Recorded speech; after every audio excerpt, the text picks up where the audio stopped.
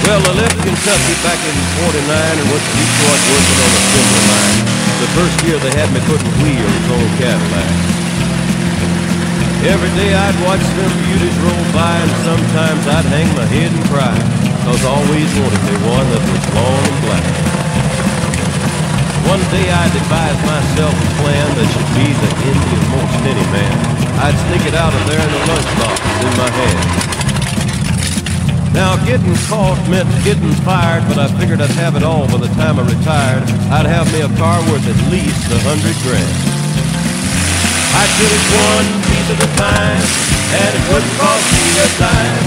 You know it's me when I come through your town. I'm gonna ride around in style. I'm gonna drive everybody wild. Cause I'll have the only one there is around. The very next day when I punched in with my big lunchbox with help from my friend, I left that day with a lunchbox full of gear. I've never considered myself a thief, but GM wouldn't miss this one little piece, especially if I strung it out over several years. The first day I got me a fuel pump, and the next day I got me an engine and a trunk. Then I got me a transmission and all the chrome. The little things I could get in my big lunchbox, like nuts, bolts, and all four shocks, but the big stuff is snuck out my buddy's mobile home. Now up to now my plan went all right till we tried to put it all together one night, and that's when we noticed that something was definitely wrong. The transmission was a 53 and the motor turned out to be a 73, and when we tried to put in the bolts, all the holes were gone. So we drilled it out so the it was fit, and with a little bit of help from an adapter kit, we had that engine running just like a song. Now the headlights, there was another sight. We had two on the left and one on the right, but when we pulled out the switch, all three of them come on. The back end looked kind of funny too, but we put it together, and when we got through, well, that's when we noticed that we only had one tail fin. About that time, my wife walked out, and I could see in her eyes that she had her doubts. But she opened the door and said, Honey, take me for a spin. So we drove uptown just to get the tags, and I headed to ride on down Main Drag. I could hear everybody laughing for blocks around. But up there at the courthouse, they didn't laugh cause to type it up, it took the whole staff, and when they got through, the title weighed 60 pounds. I got it one piece at a time, and it didn't cost me a dime. You'll know it's me when I come through your town.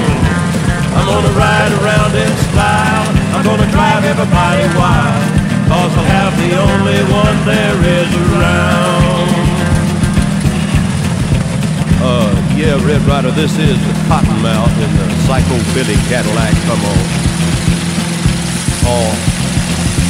Uh, this is the Cottonmouth, and negatory on the cost of this machine there, Red Rider.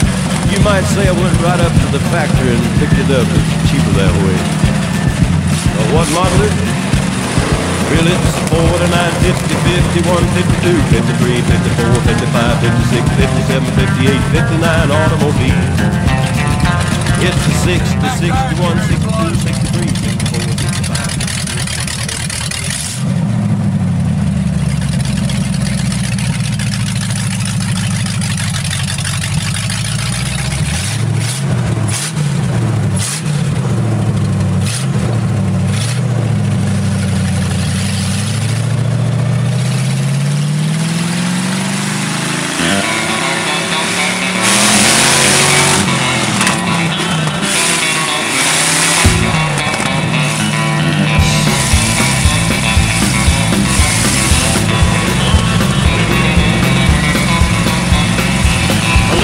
little girl come to watch us drag. Those shorts made from a checker flag. Here she comes walking by.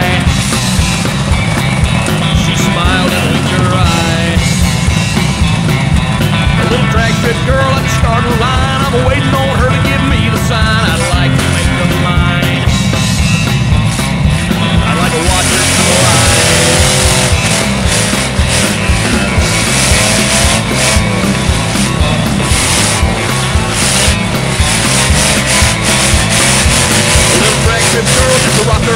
put the pedal to the metal as hard as I can